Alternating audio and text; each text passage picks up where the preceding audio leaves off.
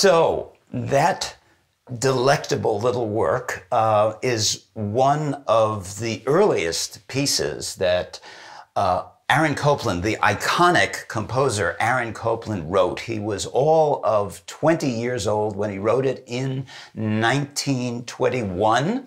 Um, it comes from a tiny suite for piano in honor of our tiny desk concert um, called Three Moods. And that mood was jazzy.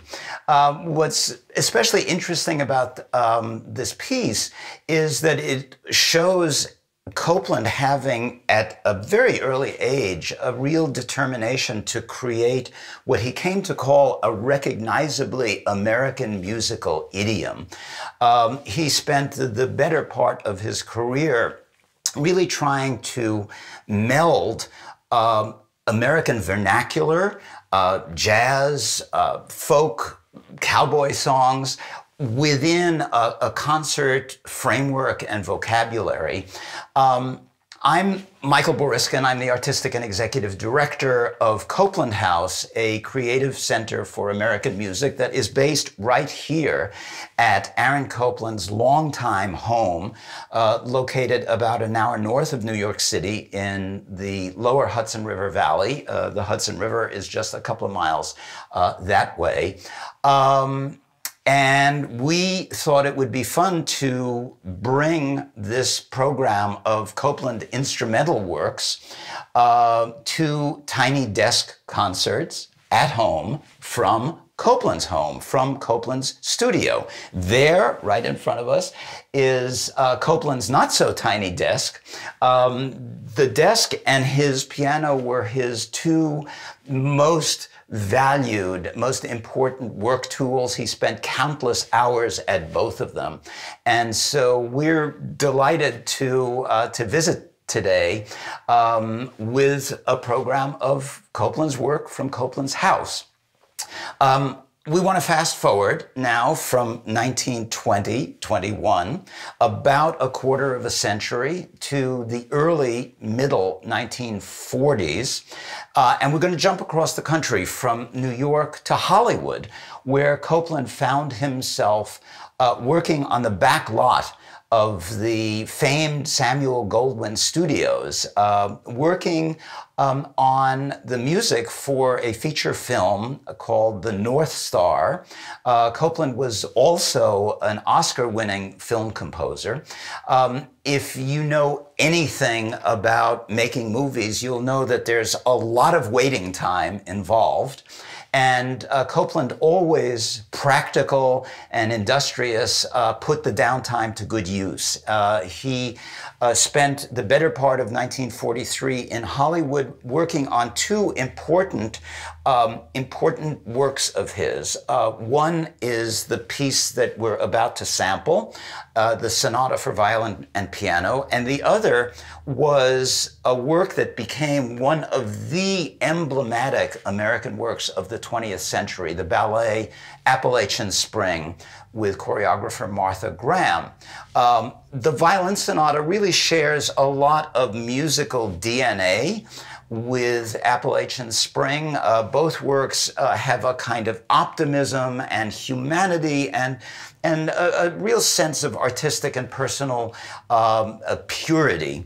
Um, this is the only major work uh, that um, that Copland wrote for the violin. Uh, we're going to play the opening movement, which, like Appalachian Spring, has a kind of homespun lyricism and a kind of carefree exuberance. And I'm delighted uh, to be doing this with one of the Music from Copland House Ensemble's principal violinists, Curtis Macomber. We hope you enjoy it.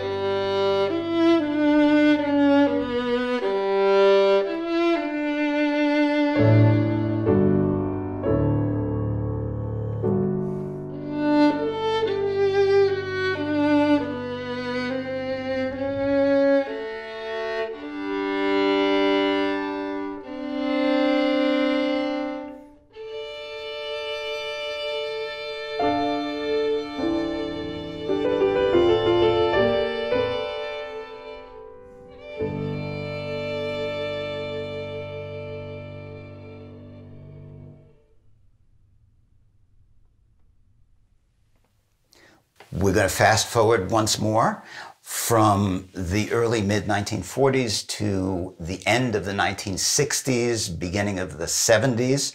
And we're going to jump from Hollywood not only to New York, but to this very room where Copland wrote his last major chamber work, a wonderful duo for flute and piano.